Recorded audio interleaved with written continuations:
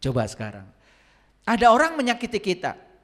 Kita tidak mencoba untuk melawan dan menyakitinya. Kita punya kesadaran. Kita menciptakan sebab. Sebab yang kita ciptakan. Ya sudah. Kalau ini adalah cara Allah untuk menguatkan jiwa saya. Saya maafkan. Saya berkuasa atas diri saya. Dan saya tidak mau sakit hati dengan ini saya akan tetap baik pada dia. Coba perhatikan. Orang yang tidak baik, saya punya pengalaman. Terus saya dibaikan, bahkan diberi perhatian. Suatu saat dia akan berbalik 360 derajat. Yang tadinya pembenci menjadi orang yang sangat melindungi kita. Berarti kita satu sudah mengubah orang dari pembenci menjadi cinta kasih. Yang kedua, tidak ada lagi pertentangan dengan kita. Coba sekarang ciptakan sebab yang sebaliknya. Dia benci, kita juga benci. Dia melakukan tindakan yang negatif, kita pun melakukan tindakan yang lebih dari itu. Kita akan terus memperpanjang permusuhan. Siapa yang sakit? Kita akan sakit. Kenapa? Karena kita juga kotor jiwanya. Dan jiwa yang kotor itu akan berpengaruh terhadap sakit fisik. Kalau sudah jiwa kotor, berikutnya apa? Pikiran jadi kotor. Pikiran yang kotor berpengaruh pada fisik. Yang keempat, hubungan sosial terganggu.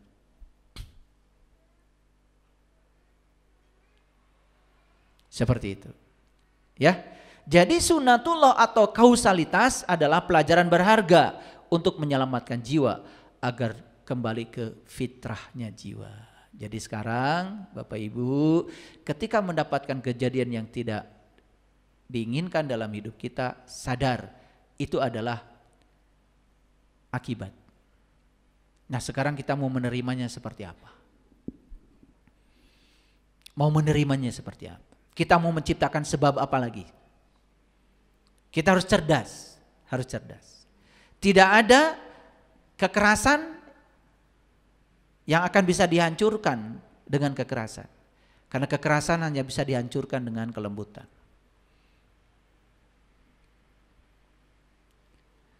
Ini ayatnya. Quran surat Al-Fat ayat 23. Sebagai suatu sunatullah yang telah berlaku sejak dahulu. Kamu sekali-kali tidak akan menemukan perubahan bagi sunatullah itu. Jadi sunatullah itu bersifat tetap. Dahulu, sekarang dan yang akan datang yang namanya hukum alam tidak berubah.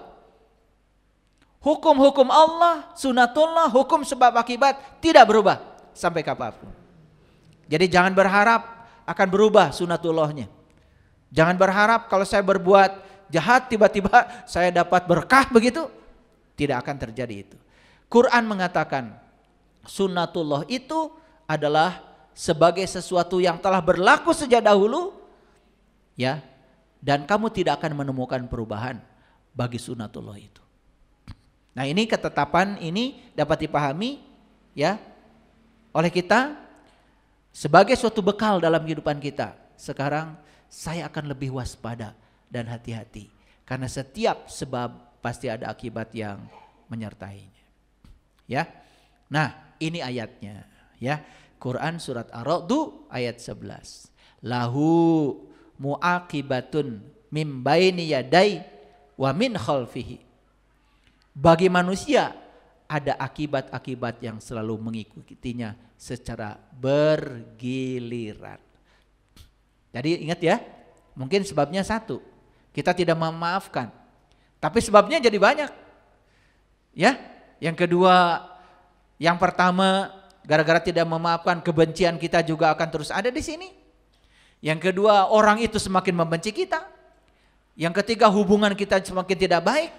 Yang keempat, kalau kita memutus silaturahim itu kan menghalang-halangi rezeki ya. Wah, dampaknya sangat banyak. Makanya di ayat ini dikatakan lahu muakibatun min baini yadai wa min khalfihi. Bagi manusia ada akibat-akibat yang selalu mengikutinya secara bergiliran. Di muka dan di belakangnya. Mereka menjaganya atas perintah Allah. Jadi sebetulnya ya akibat itu datang sebagai sunatullah. Kalau sebagai sunatullah ya jelas pengendalinya adalah Allah. Jadi Allah tidak pernah menyiksa kita. Tetapi Allah hanya menyediakan sunatullah tempat belajar kita. Jadi semua siksaan datang dari sebab yang diakibatkan oleh kita sendiri. Jadi mulai sekarang jangan lagi berpikir kalau Allah itu mengutuk, menyiksa dan lain sebagainya. Dia maha pengasih, dia maha penyayang. Tidak mungkin dia menyiksa hamba yang dicintainya. Tapi demi cintanya kepada kita, Beliau menciptakan sunatullah. Alam semesta dengan hukum sebab akibat. Jadi sekarang mengerti kalau semua akibat yang menyertai sebab itu adalah kesempatan kita untuk belajar. Ada yang buruk nggak? Ternyata di dalam kehidupan ini nggak ada yang buruk ya. Semua baik-baik saja. Ya, lanjut ya, lanjut. Sesungguhnya Allah tidak merubah keadaan suatu kaum sehingga mereka merubah keadaan yang ada pada diri mereka sendiri. Ayat ini mah sering banget ya dijelaskan. Innallaha la yughayyiru ma biqaumin hatta yughayyiru ma bi anfusihim. Sudah sering ayat ini dibahas. Tapi sekarang saya kasih tahu bagaimana cara mengubah nasib. Ya, Cara mengubah nasib itu dimulainya dari sini dan dari sini. Dari sini dan dari sini. Saya sudah membuat buku judulnya Hidup Menakjubkan. Buku baru saya. Ya, mungkin sudah ada di depan, di sini dan di sini. Di sini ada pikiran, di sini ada perasaan. Kalau pikiran dan perasaan ini kita berdayakan dan diisi dengan kekuatan positif, maka pikiran dan perasaan akan menjadi medan magnet yang akan menarik semua hal yang kita inginkan dalam hidup. Dan pasti semua hal yang diinginkan dalam hidup adalah segala hal yang kita sukai. Makanya jangan heran kalau kita sudah sampai di kesadaran itu, yang datang kepada kita itu adalah berbondong-bondong segala hal yang kita sukai. Luar biasa. Dan itu perlu praktek ya. Praktek. Insya Allah tanggal 31 September sama tanggal 1 Oktober itu saya membuka uh, gelombang pertama untuk belajar workshop hidup menakjubkan. Dasar sekali. Ya, kita akan belajar teknik berdoa yang sebenarnya. Karena berdoa yang sebenarnya bukan meminta-minta, bukan mengatur-ngatur Allah supaya ikut keinginan kita, tapi ternyata berdoa itu adalah menselaraskan pikiran dan perasaan dengan energi ilahi yang tanpa batas. Itu perlu workshop ya, perlu latihan. Perlu dua hari waktunya untuk itu. Jadi Allah mengatakan ya bagi manusia ada akibat-akibat yang mengikutinya secara bergiliran. Bergiliran. Kenapa dikatakan bergiliran? Karena satu sebab akan disertai dengan banyak akibat. Silakan, sudah pengalaman. Yuk kita menciptakan sebab apa? Maaf ya, menolak pasangan saja. Karena kita tidak suka, ada yang tidak disukai. Sebab sebabnya itu aja coba, akibatnya apa? Tiap hari berantem. Betul nggak? Tiap hari marah-marah. Tiap hari saling menyakiti. Terus udah gitu ditonton sama anak. Mewariskan kemarahan pada anak. Anak menjadi mencontoh. Anak itu sering gagal mendengarkan nasihat orang tua, tapi nggak pernah gagal melihat perilaku orang tuanya. Dan semua terekam di mirror neuronnya, di cermin sarafnya. Nanti suatu saat anak kita menikah akan mengulang kejadian yang sama dengan kita. Terus begitu. Itu hanya dari satu akibat. Eh satu sebab. Coba. Jadi ayat ini jelas sekali ya secara saintifik membuktikan dari pengalaman kita. Lahu muakibatun mim baini yadai wa min khalfihi. Ya. Bagi manusia ada akibat-akibat yang selalu mengikutinya secara bergiliran di muka dan di belakangnya. mereka menjaganya atas perintah Allah. Jadi akibat itu datang karena perintah Allah. Untuk apa akibat? Bukan menghukum, bukan mengutuk, tapi itu cinta kasih Allah supaya kita bisa mengubah sebab-sebab yang buruk menjadi sebab-sebab yang. Oh, ternyata sebab ini akibatnya begini. Maka saya tidak mau menciptakan sebab yang sama. Coba. Bapak Ibu pernah marah? Sering? Oh sering ya. Hmm, sering. Rasanya gimana marah itu? Akibatnya? Kepala puyeng, ya kan? Wajah jelek, itu kan? Hmm. Betul nggak? Tensi darah naik, betul nggak? Iya. Setelah itu mengeluarkan kata-kata yang kotor, terus menyakiti diri sendiri dan orang lain, betul nggak? Iya. TV pecah, piring berantakan, betul nggak? Coba. Kadang-kadang menimbulkan luka, harus ke dokter lagi, bayar. Coba. Dari satu sebab, akibatnya itu bergiliran banyak. Tapi sayangnya kok kita nggak mau belajar. Kenapa sih tidak menciptakan sebab yang baik-baik saja? Ya, gitu. Yuk kita rubah nasib kita ya. Ubah pikiran, perasaan, itulah pentingnya belajar kesadaran. Makanya belajar agama itu pada dasarnya adalah belajar meningkatkan kesadaran. Walaqad ra'ahu nazlatan ukhra inda sidratil muntaha. Indaha jannatul ma'wa. Dalam Quran dikatakan, di puncak kesadaran kamu akan menemukan jannah. Jadi jannah itu hanya ditemukan ketika kalian masuk di puncak kesadaran, sadar. Dari sadar itu muncul yang namanya eling, waspada, Makanya kalau orang Sunda bilang, sing bisa nganjang kapageto. Nganjang kapageto tuh apa yang mau kita ucapkan, pikir. Apa dampaknya bagi diri sendiri, apa dampaknya bagi orang lain. Sampai segitunya orang tua kita mengajarkan itu. Anyangan hela pageto teh. Sebelum kita ngucap itu, rasakan dulu yang mau kita ucapkan itu akibatnya oleh kita. Sampai segitunya orang tua sangat preventif. Orang tua kita mengajarkan agama itu sangat preventif, luar biasa. Ya, baik. Nah, di akhir dari kuliah ini saya akan memberikan sedikit renungan. Yuk kita baca pelan-pelan. Setiap serangan membawa kita semakin dekat dengan kesuksesan.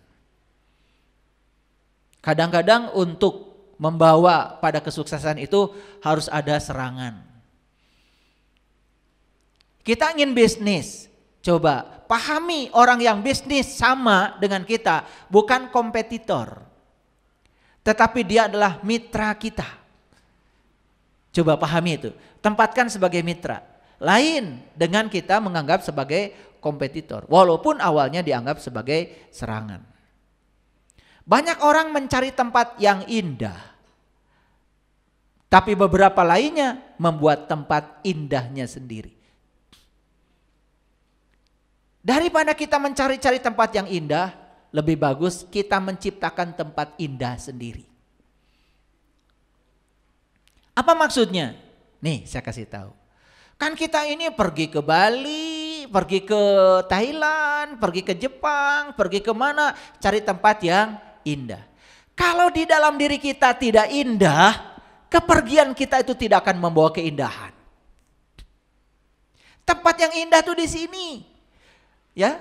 Jadi kalau di sini sudah indah, ternyata nggak usah jauh-jauh, ongkosnya mahal. Ternyata di depan rumah cuman punya taman sedikit aja menjadi indah. Kalau kita sudah menciptakan tempat indah sendiri di sini di dalam. Misi dalam hidup bukan hanya untuk bertahan hidup, tetapi untuk berkembang. Dan untuk berkembang perlu tantangan. Jadi semua yang tidak diinginkan datang dalam hidup kita itu supaya jiwa kita berkembang. Pahami itu. Karena kalau kita hidup di zona nyaman, tidak dapat tantangan, jiwa kita tidak berkembang. Dan jiwa kita disuruh belajar tanpa batas di ruang kehidupan ini. Karena dia pun Allah tempat kembali kita pun tanpa batas. Tujuan seseorang bukanlah suatu tempat. Tapi suatu cara baru melihat sesuatu. Inilah tujuan kita belajar. Jadi kita menemukan cara baru untuk melihat sesu, sesuatu. Hebat ya kalau kita bisa mengubah sudut pandang terhadap musibah menjadi berkah. Tadi saya sampaikan dan saya sering bertanya, ada banyak orang yang datang ke tempat saya. Setelah belajar kesadaran kemudian saya tanya, apa yang menyebabkan kamu datang ke tempat ini?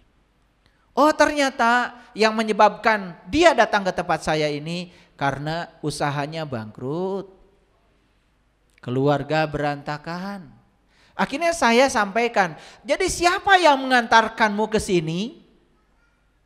baru sadar, oh ternyata saya diberangkatkan ke sini oleh segala peristiwa yang saya tidak harapkan kedatangannya. Akhirnya dia mengubah sudut pandang. Asalnya membenci peristiwa itu, dia melihat peristiwa itu sebagai berkah. Kalau saya tidak bangkrut usaha, kalau saya tidak mengalami kehancuran keluarga, saya tidak mungkin belajar ilmu kesadaran seperti ini. Akhirnya dia mulai berterima kasih dan tertunduk tidak lagi menganggap segala hal dalam hidupnya adalah musibah. Akhirnya dia berteriak kepada Allah, Ya Allah ternyata cinta kasihmu begitu luar biasa. Maaf jika selama ini aku salah menilaimu. Timbul kesadaran, itu namanya taubat. Taubat yang sebenarnya itu sadar sebetulnya. Bagaimana kalau baca astagfirullahaladzim? Bagus kalau sadar. Ini masalahnya baca itu nggak sadar. itu wah dibanyakin ya 10 ribu sehari. Uh, iya. Membaca banyak tetapi tidak sadar. Gak ada artinya. Karena selama ini kan dikit-dikit pahala. Dikit-dikit pahala. Maaf ya dari tadi saya ceramah. Saya tidak membagikan pahala sama kalian. Hmm. Saya nggak punya pahala. Hmm. Saya membagikan kesadaran aja. Ya. Ada tahun-tahun ketika kita bertanya, tapi ada tahun-tahun dengan jawaban. Sabar. Semua yang kalian pertanyakan dalam hidup pasti ada jawabannya.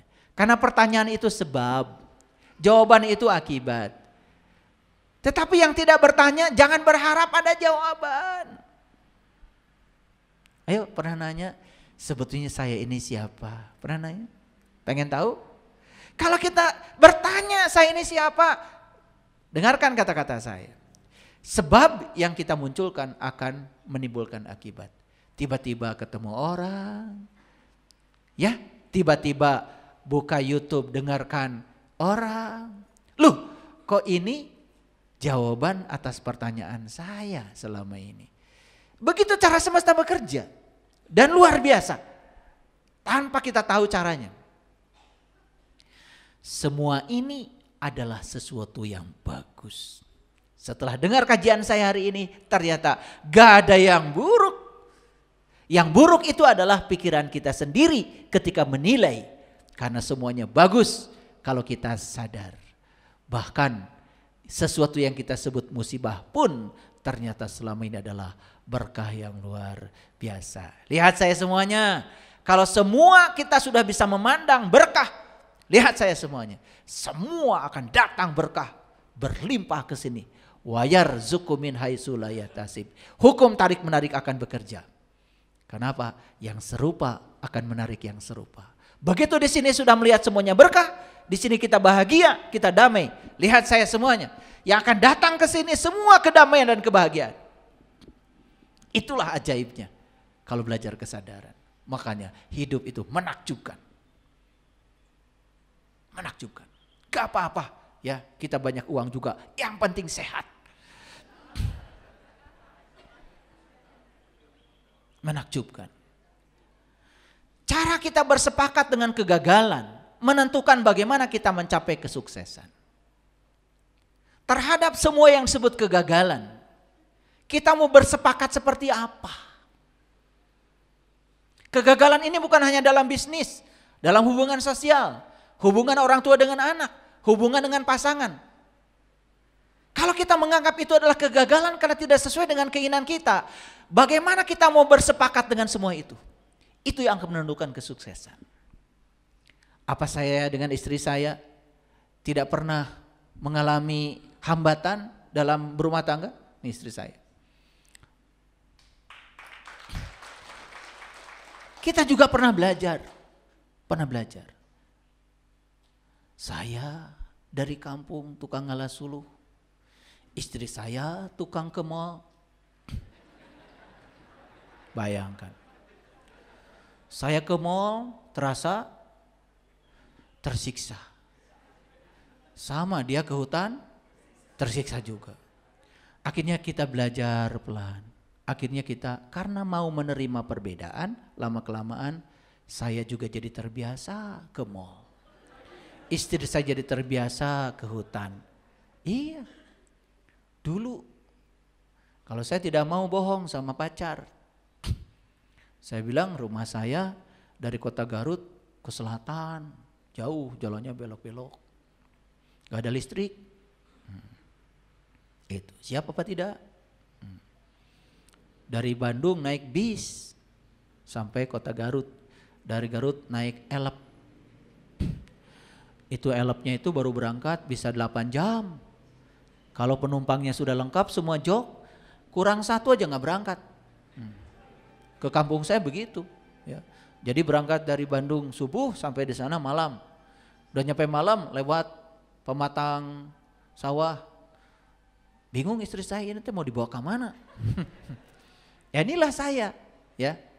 Jadi saya tidak mau berbohong. Ini rumah saya, ini kampung saya. Udah, kita lebih bagus berbicara apa adanya. Ternyata kalau sudah jodoh, ternyata dia bisa menerima semuanya.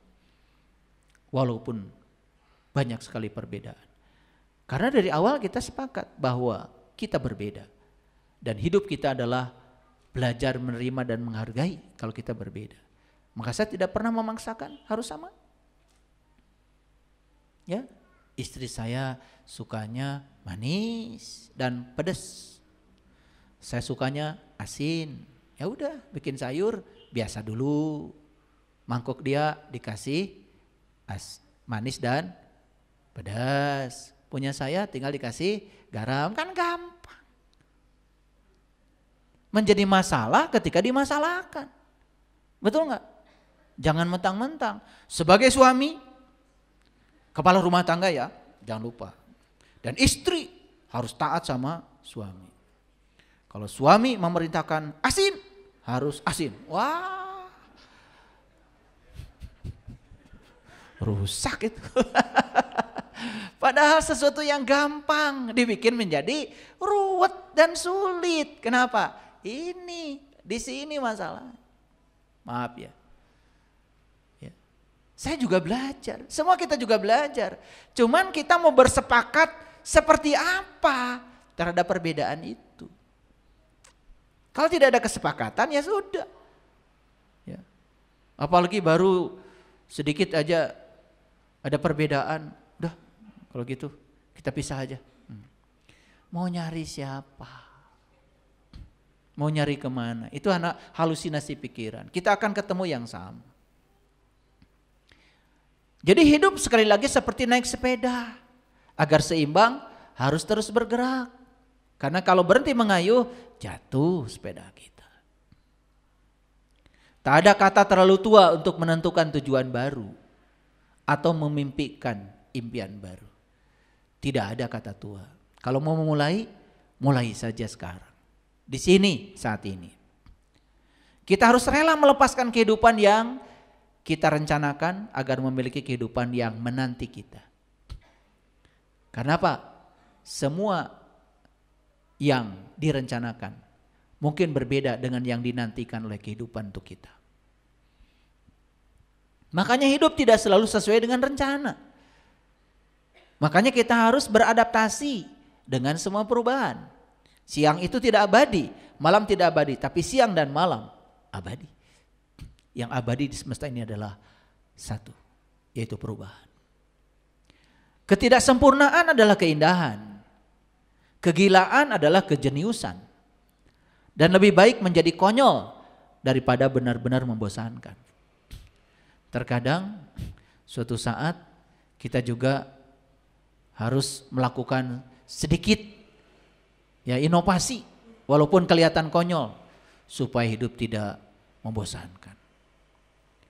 Konyol kan? Saya pergi dengan istri saya ya ke Bandung, nginap di hotel. Kutu ditanya di hotel, Bapak dari mana? Sariwangi. Sariwangi ini mana Pak? Bandung. Hmm. Kenapa nginep di sini? Tuh pertanyaan. Hmm. Memang konyol saya ini ya. Ya, orang Bandung nginep di Bandung. Tapi kan pasti ada suasana baru di tempat yang berbeda. Ya toh? Itu. Jadi kalau sudah mulai bosan, coba menciptakan hal-hal baru. Tong kitu wae atuh. Itu bahasa apa ya? Hmm. Ya. Rasa sakit hanyalah sementara, tapi menyerah berarti mengakhiri semuanya. Yang hebat, di semesta ini penderitaan itu ada batasnya. Yang tidak ada batasnya itu kebahagiaan. Makanya ketika orang menderita sampai di titik nadirnya, Malah bisa jadi titik nadir itu adalah titik balik dia mengalami kebangkitan. Hebat Allah itu. Neraka itu tidak abadi. Tapi surga abadi. Hebat Allah itu. Hebat nggak Allah? Makanya harus ngerti. Harus mengenal. Ternyata penderitaan itu tidak buruk. Di titik nadir bahkan seseorang mengalami kebangkitan. Betul nggak? Iya. Karena apa? Kalau seseorang sudah mengalami penderitaan demi penderitaan, kan pasti ingin lepas dari penderitaan itu. Di titik nadirnya malah justru dia mengalami kebang, kebangkitan. Makanya yang mengantarkan orang itu menjadi baik bisa jadi adalah keburukannya. Makanya berhenti menjustifikasi orang. Jangan membuang waktu. Oh, kegagalan adalah bumbu yang memberikan rasa pada kesuksesan. Nih, saya kasih tahu sukses itu nggak ada rasanya. Kalau tidak dikasih bumbu oleh kegagalan. Ternyata kegagalan itu adalah bumbunya. Di sini saya tahu banyak orang yang pernah gagal. Terasa nikmatnya sukses itu karena dikasih bumbu oleh kegagalan. Kita terasa jalan lenggang itu karena kita pernah diberi rasa bumbu oleh apa? Jalan macet. Bukankah dua-duanya adalah kebenaran? Bukankah dua-duanya seperti sisi mata uang yang tidak bisa ditiadakan? Coba, suami baik itu rasanya luar biasa. Karena pernah tidak baik. Tapi rasa itu dari mana datangnya? Dari tidak baik. Makanya ketidakbaikan itu seperti bumbu. Bumbu yang memberi rasa. Jadi kalau kita sudah di kesadaran ini, apa yang buruk di semesta ini enggak ada. Ternyata sekarang sadar, yang buruk itu adalah pikiran saya, kebodohan saya. Merasa diri pintar, merasa diri soleh, padahal can ke mana-mana. Iya, dititah joget ge pasalia. Iya. Kalau orang joget aja musik ke mana, gerakan ke mana, itu hidupnya pasti begitu. Itu enggak? Tidak berirama. ya, itu ada istilahnya bahasa Sunda mah. Cul dog dog tinggal eagle. Bahaya. Kalau dog dog dengan eagle berpisah. Betul nggak? Nu nabuh dog dog ke mana? Nu ngigel ke mana? Aduh, nu nonton riweuh. Pasti bubar. Betul nggak? Jangan membuang waktu untuk mengalahkan tembok. Tapi ubahlah agar tembok menjadi pintu. Kan kita ini selama ini ingin mengubah, ingin mengalahkan tembok, betul nggak? Capek. Tapi bagaimana mengubah tembok menjadi pintu? Asalnya penghalang menjadi jalan masuk. Semua yang disebut penghalang oleh kita selama ini ternyata itu jalan masuk. Jalan masuk untuk menemukan hakikat dari jiwa kita. Malah bisa jadi yang selama ini disebut pintu oleh kita malah mencelakakan kita. Mohon maaf. Pernah marah dinasehati?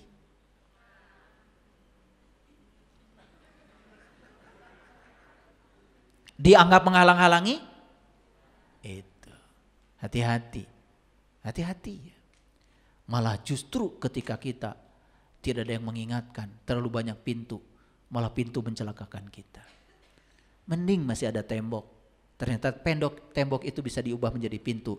Pintu untuk keberkahan kita, pintu untuk penguatan jiwa kita. Bukannya itu keren. Seorang pemikir melihat aksinya sebagai eksperimen dan pertanyaan sebagai percobaan untuk mencari sesuatu. Sukses dan gagal adalah jawaban dari pencarian itu. Seorang pemikir ya melihat aksi sebagai eksperimen. Makanya kita harus banyak eksperimen, harus banyak aksi. Lebih bagus mencoba. Mencoba walaupun hasilnya bisa gagal, bisa tapi ada pengalaman di sana. Saya kasih tahu hadirin, tidak ada sebetulnya yang sia-sia dalam hidup kalau kita mencoba. Sekalipun gagal, pasti memberikan pengalaman kepada kita. Makanya hanya orang yang berani tersesat yang tidak akan tersesat. Karena berani tersesat berarti dia mencoba. Dan selamanya tidak akan tersesat. Tapi yang takut tersesat selamanya tidak mencoba. Malah justru yang takut tersesat selamanya tersesat. Makanya jangan gampang menyesatkan orang lain. Mudah sekali menilai orang lain. Nyaho gente. Jadi seorang pemikir melihat aksinya sebagai eksperimen. Melihat pertanyaannya sebagai percobaan untuk mencari sesuatu. Dan sukses dan gagal itu adalah jawaban dari pencariannya. Ternyata dalam pencarian itu kita akan dapat dua, sukses dan gagal. Kalau kita bisa menerima dua-duanya, Dua-duanya ngasih pelajaran yang berharga pada kita. Karena itulah pelajaran dari hidup. Mencoba dan gagal tidak masalah.